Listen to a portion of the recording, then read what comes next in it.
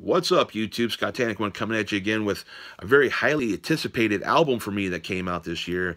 This one came out in October, October 14th to be exact. Um, back with their old label, Peaceville. Let's get into it. The Mighty Mighty Darkthrone make their return with Arctic Thunder. Man, this is a fucking awesome album. Um, definitely a step up from the Underground Resistance. Darkthrone being one of my favorite second wave black metal bands. I had to get this. Um, pre-ordered this beast. Just, you know, standard edition. I didn't really have a lot of scratch for like a bonus edition or anything, so I just picked this one up. But man, I'm glad I did. Um, let's go ahead and get into some tracks. Of course, the one we all heard to kick off, Tundra Leech. Awesome, awesome return to form. It sounds more akin to their latter years black metal albums. Um, I'm thinking more in the line of like um, Hate Them without minus the industrial themes on them, but Nocturno Culto's never sound better. Fenriz's arrangements, his drum work is amazing. Um, keep going on with Burial Bliss, Boreal Fiends, Inbred Vermin, title track. I mean, this is an awesome, awesome album. Album. Throw, throw Me to the Marshes is where it kind of bogs down a bit. One of those that I just didn't really get into. I listened to it. I listened to this album all through October. As soon as I got my hands on this one, I listened to this one. Actually, it didn't really come out of rotation till like last week when I got another album, but I'm a huge fucking fan of Darkthrone. I'm a huge fan of this album. It's a very good return to form, man. Um, the uh, the, the uh, not the album, the track Deep Lake Trespass is another really really solid track on here. Then it finishes off with the Wyoming Distance.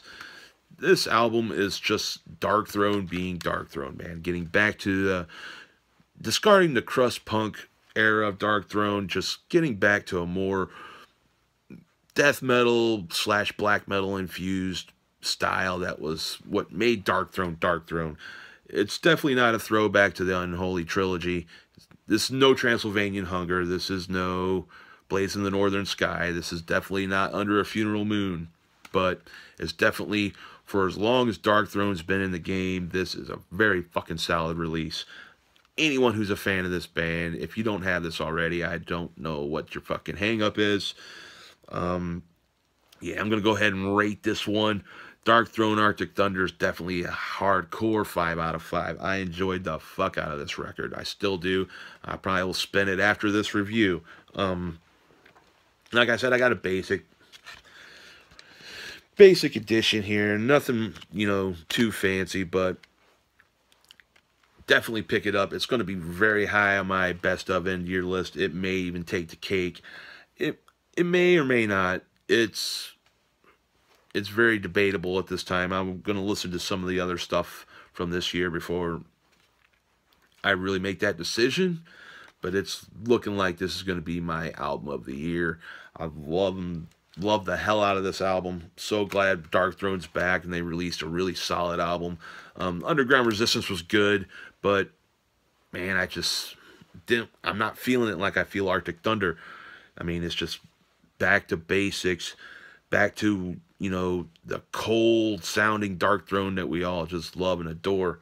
Um, definitely pick it up. Definitely pick it up. Five out of five. Awesome, awesome album. But you know what?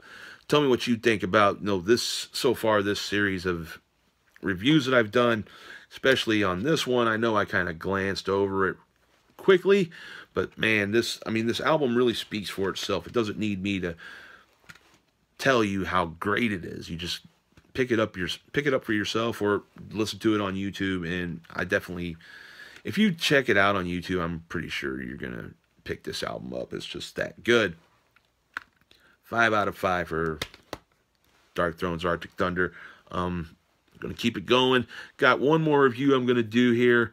Um another very highly anticipated album from another legendary band, but we'll get into that in the next review. Um, see you in the next vid, YouTube.